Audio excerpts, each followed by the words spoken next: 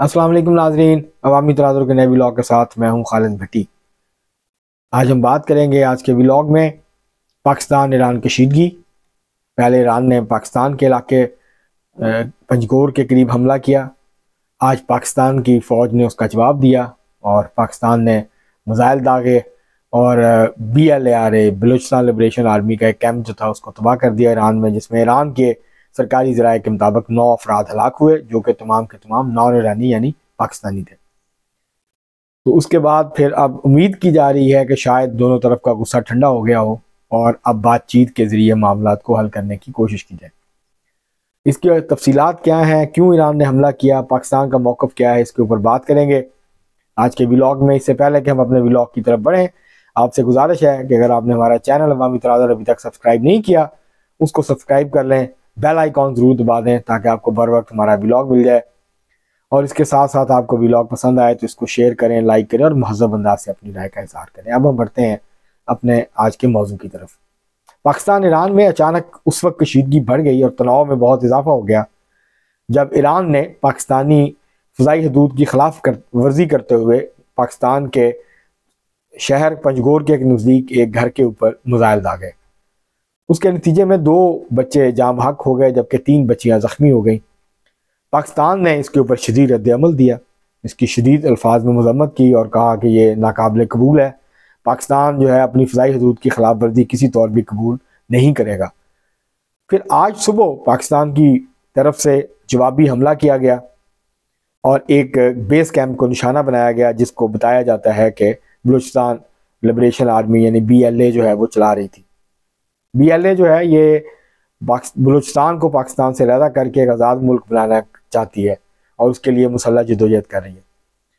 तो ये जब खबरें आई तो इससे खदशा पैदा हुआ कि शायद अब कशीदगी में मज़ीद इजाफा हो और मामला मज़ीद ख़राब हो जाए, लेकिन ऐसा नहीं हुआ। और ईरान ने सिर्फ़ पाकिस्तान पर हमला नहीं किया, बल्कि ईरान ने शाम में हमला किया, ईरान ने इराक पे हमला किया और अराबेल जो है, कुर्दस्तान का का जो सूबा है उसका शहर है तो वहाँ हमला किया और ये दावा किया कि मुसाद जो है उसके हेडकोार्टर को वहाँ पे जो उसका ऑफ़िस था उसको निशाना बनाया गया जिसमें कई एजेंट्स के हलाक होने की इतलात हैं। इसके अलावा दाइश के जो ठिकाने हैं उसको भी निशाना बनाया ईरान ने। तो यक वक्त जो है वो तीन चार जगहों के ऊपर कार्रवाई की। आ, अब इसकी दो वजूहत हो सकती हैं। एक तो ये कि ईरान को के गिर्द घेरा तंग हो रहा है। ईरान जो है वो उसके ऊपर दबाव बहुत है आलमी ताकतों का। और मुल्क के अंदर से भी ईरान के ऊपर बहुत ज़्यादा शदीद दबाव है। क्योंकि लोगों का, बहुत सारे लोगों का ये ख्याल है, ईरानियों का याम ईरानियों का यह ख्याल है कि जो पैसा ईरान झोंक रहा है, जो मदद कर रहा है शाम में, लिबनान में, हम और गज़ा में और दूसरी जगहों पे, शिया, मलेशिया जो है इराक में तो ये पैसा लोगों की, ईरानियों की खलौ बहबूद पे खर्च होना चाहिए, ना कि जंगों पे। तो ये भी एक वजह हो सकती है कि इस फ्रस्ट्रेशन में और इस दबाव को कम करने के लिए जो जो है वो मुल्क के अंदर से हुकूमत के ऊपर आ रहा था उसको कम करने के लिए और ईरान ने अपना मसल दिखाने के लिए ये मजाइल हमले किए कि हमें ये कैपेसिटी है कि हम ये कर सकते हैं। लेकिन अब जब पाकिस्तान ने, अब पाकिस्तान ना इराक है, ना शाम है, पाकिस्तान फौजी लिहाज से ईरान से कहीं ज़्यादा मज़बूत मुल्क है। तो पाकिस्तान ने जब आज जवाबी कार्रवाई की तो फिर मतलब ईरान के पास, ईरान की हुकूमत के पास शर्मिंदगी के अलावा तो कुछ नहीं था। अब या तो जवाबी तौर पर हमला करें, फिर पाकिस्तान में फिर एक सूरत और संगीन हो जाएगी। तो अब लगता यह है कि शायद दोनों तरफ़ से बैठ के बातचीत हो, क्योंकि बातचीत ही अमन ही रास्ता है। जंग का तो जंग तो किसी मसले का हल नहीं है। जंग तो खुद एक मसला होती है वो किसी मसले का हल नहीं होती। ना जंग से कोई मसला हल होता है। जंगों के बाद जब जर्नैल लड़ लेते हैं जंग सियासतदानों के हुक्म पे तो फिर सियासतदान ही बैठ के सुलह करते हुए मामला को देखते हैं। तो अब देखना यह है कि ये दोनों मुल्कों के अपने मफाद में है कि इस कशीदगी को हवा ना दें। क्योंकि इस कशीदगी के नतीजे में पाकिस्तान में जो शिया सुन्नी टेंशन है जो एक एक फिरका वारियत का मामला मामला होता है उसके अंदर भी शिद्दत आ जाती है और उसके नतीजे में भी मारधार शुरू हो सकती है। तो ये कोई अच्छी डेवलपमेंट नहीं है।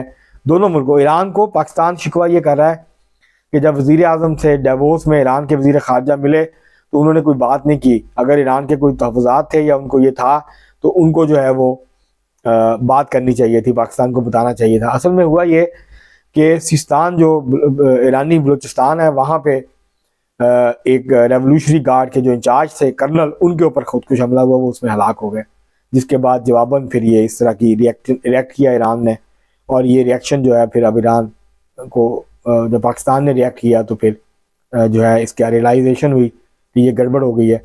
तो क्योंकि पाकिस्तान और ईरान में, ईरान जो है, वो पाकिस्तान को इस तरह डरा धमका नहीं सकता है, ये बात तो बिल्कुल तय है। तो लेकिन इससे जो है पाकिस्तान के पहले ही हालात ख़राब हैं। मतलब ईरान को चारों तरफ़ से घेरा डाला जा रहा है और सारी आलमी ताकतें ईरान के खिलाफ मुश्तम हो रही हैं। सिर्फ़ रूस और चीन उनके साथ हैं, जो उनका साथ निभा रहे हैं, उनके साथ काम कर रहे हैं, वहाँ इन्वेस्टमेंट कर रहे हैं। तो ईरान जो है वो अब, उसके कोई, इसी तरह पाकिस्तान जो है उसके अफ़गानिस्तान और इंडिया के साथ ताल्लुक कशीदा हैं, तनाव है दोनों सरहदों पर तो पाकिस्तान ये अफोर्ड नहीं करता कि तीसरी साथ पर भी कशीदगी हो। लेकिन ईरान को भी ये सोचना चाहिए कि इस तरह की कार्रवाइयाँ करने का कोई फ़ायदा नहीं है, उसका कोई, उससे ईरान जो हासिल करना चाहता है, उससे कोई उनको फ़ायदा नहीं होगा। क्योंकि दोनों मुल्क दहशत गर्दी का सामना करें पाकिस्तान के अंदर भी दहशत गर्दी हो रही। पाकिस्तान को, पाकिस्तान भी ये इल्ज़ाम लगाता है कि ईरान के अंदर से कैंप्स हैं, बलूचिस्तान मिलिटेंट ऑर्गेनाइजेशन वहाँ हैं, वो वहाँ की बेस हैं, जैसा पाकिस्तान ईरान अफ़गानिस्तान के हवाले से बात करता है टीटीपी और दूसरे जो लोग हैं, वो वहाँ पे पना पना लिए हुए हैं। तो ये शिकायत पाकिस्तान की ईरान से, इस तरह ईरान को भी पाकिस्तान से शिकायत है कि ये जो जिंदुल्ला थी पहले, अब उसने अपना नाम तब्दील किया, कुछ फैक्शन आगे पीछे हो गए हैं, जैशुल अदल के नाम से ये जो सारा मामला है। तो यहाँ पे भी ऐसी ऑर्गेनाइजेशन हैं जो कि ईरान में जाके कार्रवाइयाँ करती हैं। तो ये दोनों मुल्कों को मसला है, इसका हल ये नहीं है कि आप एक दूसरे पे हमले शुरू कर दें। इसका हल ये है कि आप बैठें, बातचीत करें और उसका एक मैकेनिज्म बनाएँ और उसके ज़रिए से अमनो अमान की सूरत को ठीक रखें और दहशत गर्दों के खिलाफ अपनी जगह कार्रवाई करें। इसका बेहतर हल ये था कि ईरान पाकिस्तानी हुकूमत को बताता कि ये लोग हैं जिन्होंने अटैक किया है और इनके खिलाफ कार्रवाई करें। पाकिस्तानी फोर्सेस ना करती, फिर ईरान को ऐसी कोई कार्रवाई करनी चाहिए थी, बगैर इसके कि वो, बजाय इसके कि वो बर रास्त की कार्रवाई करता। इससे कशीदगी और तनाव बढ़ा। फिर आप पाकिस्तान ने भी जवाबी कार्रवाई कर दी। तो अब ये है कि बैठना चाहिए, ईरान को चीन को और रूस को इसके दरमियान किरदार अदा करना चाहिए मीडिएशन करनी चाहिए। सालसी का किरदार अदा करना चाहिए और इस मामले को रिजॉल्व करना चाहिए। यह कशीदगी जो है, वो दोनों मुल्कों के मफाद में नहीं है। दोनों मुल्क एक दूसरे की मदद करते हैं। मसलन जो मकरान डिवीज़न में बिजली आती है, ये बिजली जो है वो ईरान से आती है। पाकिस्तान की बिजली नहीं है। इसी तरह अगर आप मकरान के मुख्तलिफ़ शहरों में जाएँ, मकरान डिवीज़न के तो आपको वहाँ ईरानी सब्ज़ियाँ, ईरानी फल, ईरानी खाने पीने की चीज़ें चॉकलेट्स बिस्किट्स ईरानी डीजल हर चीज़ जो है वो ईरानी मिलेगी। इस तरह पाकिस्तान से चावल जाता है और बेशुमार चीज़ें जाती हैं। तो ये दूसरे, दोनों मुल्क एक दूसरे के ऊपर बहुत सारी चीज़ें मंगवाते हैं और बहुत सारी चीज़ें देते हैं वाटर सिस्टम पे। तो दोनों को जो है वो एक दूसरे की ज़रूरत है। तो इस तरह की कशीदगी का जो है वो कोई मकसद नहीं है उससे खत्े में भी हालात जो है वो मजीद कशीदा हो सकते हैं और उसके अलावा पाकिस्तान के अंदर एक नई टेंशन शुरू हो सकती है, जिस किस्म का प्रापोगेंडा हो रहा है, जिस तरह के मामला टीवी पे चल रहे हैं जिस तरह की कमेंट्री हो रही है तो ये कोई बहुत अच्छी बात नहीं है। इसकी बजाय बैठना चाहिए दोनों मुल्कों को, दोनों हुकूमतों को दोनों तरफ़ के अहदेदारों को बातचीत करनी चाहिए, फौजियों को भी बैठना चाहिए, सियासतदानों को भी बैठना चाहिए और इसका जो है वो पुरमन हल निकालना चाहिए मासवा इसके कशीद में, कशीदगी में इजाफा। मशरक मशरक वस्ती में पहले ही बहुत कशीदगी है और अब ये जो मामला हैं, ये फैलते जा रहे हैं। अब ये पहले गजा से शुरू हुआ मामला, फिर लेबनान थोड़ा इन्वॉल्व हुआ, उसके बाद अब हुसी इन्वॉल्व हो गए हैं। उसके बाद इराक में जो है वो पहले ईरान जो है वो इन्वॉल्व है। तो इस तरह से ये जो मामला फैल रहा है अगर ईरान इसको मजीद फैलाएगा तो ये उसके मफाद में तो नहीं है, इससे उसकी मुश्किल में इजाफा होगा। तो इसी तरह से पाकिस्तान को भी वो ग्रुप्स जो ईरान के खिलाफ सरगर्म है पाकिस्तान को उसके खिलाफ कार्रवाई करनी चाहिए। इसी तरह ईरान को भी जो ईरान से पाकिस्तान के अंदर दहशत गर्द आते हैं, उसके खिलाफ कार्रवाई करनी चाहिए। और पाकिस्तान जो है वो सब मिसाल देता है कि किस तरह से कुलभूषण जो है वो ईरान में बैठ के, चाबहार में बैठ के जो है वो पाकिस्तान में कार्रवाइयाँ कर रहा था, फिर यहाँ से पकड़ा गया। तो इस तरह से ये सिलसिला बंद होना चाहिए। अफ़गानिस्तान से भी बंद होना चाहिए, ये पाकिस्तान से भी बंद होना चाहिए, ईरान से भी बंद होना चाहिए, इसी तरह इंडिया से भी बंद होना चाहिए। आप पुरमन तरीके से अच्छे हमसायों की तरह रहें, एक दूसरे के साथ अच्छे ताल्लुक बनाएँ, एक दूसरे की तमीर और तरक्की में हिस्सा लें, एक दूसरे की मदद करें।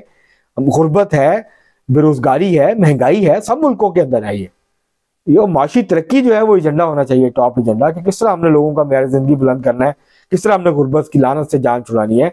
किस तरह हमने महँगाई कम करनी, किस तरह हमने अपने लोगों को बुनियादी जरूरतें ज़िंदगी फ्राहम करनी है। नौजवानों का ईरान में, नौजवानों की बेरोजगारी की शरह बहुत बुलंद है। इस तरह पाकिस्तान में भी, इस तरह इंडिया के अंदर भी। तो अमन चाहिए लोगों को लोगों को रोटी चाहिए, लोगों को रहायश चाहिए, लोगों को इलाज और सेहत चाहिए, पैसे वहाँ खर्च होने चाहिए वसाइल वहाँ लगने चाहिए, ताकि लोगों का म्यार ज़िंदगी बुलंद हो मौशी तरक्की हो, मीशत तरक्की करे, लोगों के हालात बेहतर हों, रोज़गार मिले तो इसके नतीजे में हालात बेहतर होंगे, एक दूसरे के साथ ताउन करें, एक दूसरे की मदद करें, लड़े माते एक दूसरे के साथ। इस तरह की कशीदगी बढ़ाने का कोई फ़ायदा नहीं है। और ये दोनों मुल्कों का मसला है, दोनों मुल्कों में दहशत गर्दी है, दोनों तरफ़ से ये मामला हैं तो इनको आपस में बैठ के अच्छे तरीके से, बातचीत के ज़रिए से, इसको डायलॉग के ज़रिए से हल करना चाहिए, ना कि एक दूसरे के ऊपर हथियारों का इस्तेमाल करना चाहिए। इंसानों को ज़ुबान के ज़रिए इन मसाइल का हल करना चाहिए और ये जो एक दूसरे के ऊपर अदम की कैफियत है, इसको बैठ के हल करना चाहिए। और इस तरह की जो कार्रवाइयाँ जो ईरान ने की है, वो नहीं होनी चाहिए। फिर पाकिस्तान ने भी उसका जवाब दिया, ज़ाहिर उससे और कशीदगी बढ़ी है। तो अब मेरे ख्याल से वक्त आ गया कि बैठ के इस मसले को हल किया जाए और इस मामले को जंग की तरफ़ ना लेके जाया जाए। इससे नुकसान होगा, आवाम का नुकसान होगा, माली नुकसान होगा, जानी नुकसान होगा, इसका किसी को फ़ायदा नहीं होने वाला। और इस वक्त ईरान ये अफोर्ड नहीं कर सकता कि वो पाकिस्तान के साथ इस तरह से कशीदगी को बढ़ाए। पहले ही हालात बहुत ख़राब हैं, पहले ही उसके गिर्द बहुत गहरा तंग किया जा रहा है, पहले ही बहुत ज़्यादा दबाव है और ईरान, ज़ाहिर उसके फुटप्रिंट्स हर जगह पे हैं हौसियों के साथ भी हैं, हमास के साथ भी हैं हिजबुल्ला के साथ भी हैं, इराकी मलेशिया के साथ भी हैं तो ये सारे मामला हैं उसके। तो इस तरह से उसको भी कंस्ट्रेंट का मुजाहरा करना चाहिए और इन मामला को बैठ के बातचीत के ज़रिए हल करना चाहिए। आज के लिए इतना ही। बहुत शुक्रिया।